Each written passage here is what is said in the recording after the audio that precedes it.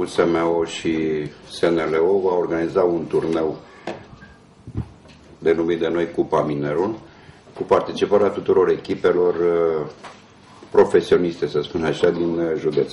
Cum ziua minerului e pe 19 august și campionatul s-a întrerupt pentru amicalul fantom al Naționalei României, echipele gorjene susținute de mineri și-au zis să nu stea degeaba și au pus la cale un turneu.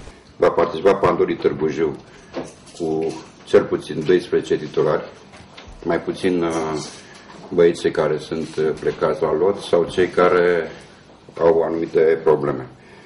Pandorii va fi condusă de întreg staful în frunte cu Grigoraș, minerul Mătăsar, minerul uh, Motru și Jiu Rovinar. Câmpul de bătălie ales pentru duelul echipelor lui Condescu și Podaru este Motru. Aici se vor desfășura ostilitățile vineri și sâmbătă, iar pandurii au promis că vor veni cu echipa de bază. Mai puțin de 5 jucători selectați la naționala lui Pițurcă și cea de tineret a lui Sândoi. Vineri de la ora 17 va juca Mătăsar cu Rovinari și de la ora 19 Pandurii cu Motru. Sâmbătă de la ora 10 finala mică și la 12 finala mare. Pandurii au primit liber de la Grigoraș până joi. Următorul meci în Liga 1 al Gorjenilor e tocmai sâmbătă viitoare contra celor de la Dinamo.